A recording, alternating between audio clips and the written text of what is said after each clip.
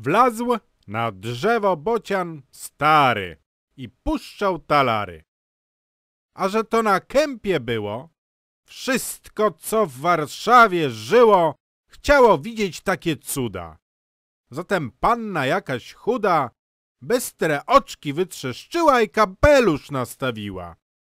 Z tego morały wywodzą, że gąsięta w pierzach chodzą.